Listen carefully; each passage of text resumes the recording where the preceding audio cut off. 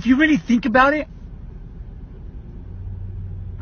what would you do if you were locked up with 69? The rapper 69, the one with the color hair, with the pretty little tattoos. 69 tattoo, the one with the pink, yellow, red hair. If you really think about it, could you imagine if you were locked up for the rest of your life? And he was the only pretty little bitch that you got to see every single day in your jail, in your jail cell? He's not that bad looking now if you think about it, if you're in jail for the rest of your life. You know what I mean? Yikes! Yikes! Okay, we're gonna talk about this. Yikes again.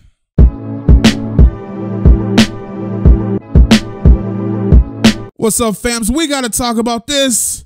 And if you guys are new to the channel, make sure you guys hit that sub button and shout out to my gang, gang, gang. Now, Lord, let's all bow our heads and pray that six, nine cheeks are okay. Now, for the people that don't know what's going on and you've been living under a rock, I don't know, but six nine has been arrested. He's been arrested on racketeering and other charges, and they say that he is facing life in jail. Okay, it is not looking good.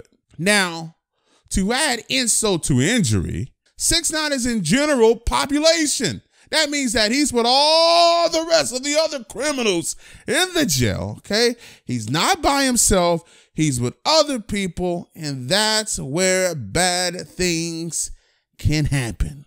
Now, I hear this guy in the video, right? He looks like he's a cholo, right? This gangster, he goes, What would you do if you were in a cell with, with 6 9 locked up all day? Uh, we will probably play cards.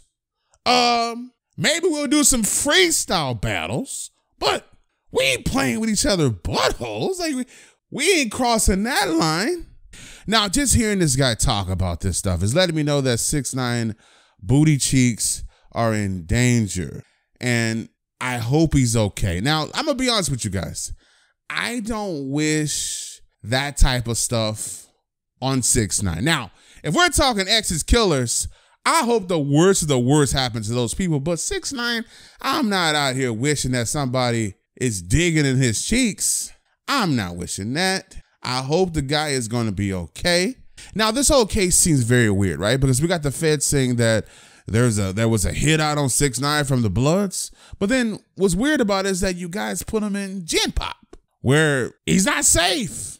That doesn't make any sense to me. Part of me feels like they put six nine there so that way he can start singing like a bird and start snitching on everyone else because in his head he knows he is in danger. Now let me explain something to you guys, okay? Because when rappers or celebrities go to jail, right? They don't just put them in Gen Pop. You know what they do? They put them in PC. Now, there's been very few occasions where some rappers are like, yo, I don't want to be in PC, right?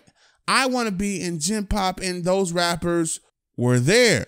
Six Nine doesn't want to be in no freaking Gen Pop. He knows those dudes who are trying to freaking caress his rainbow hair. He ain't trying to be in there. He's trying to be in PC, but they haven't put him there because I promise you, the feds are trying to get him to snitch and they're trying to scare him right now or that. They're trying to get him killed. You guys let me know what you think about this in the comment section below. I saw this video and I said, man, this guy is wilding. They got to protect 6 9's cheeks, man. They got to protect the cheeks.